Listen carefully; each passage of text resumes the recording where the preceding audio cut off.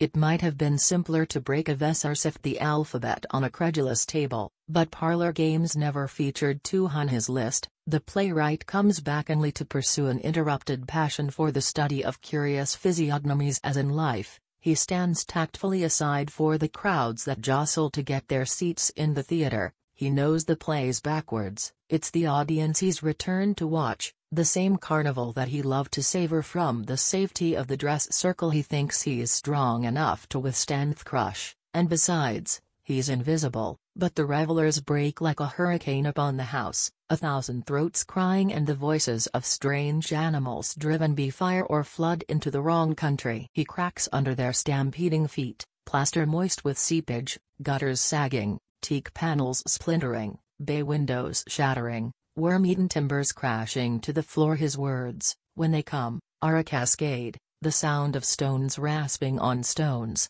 In Memoriam, Guru Dutt, 1925-1964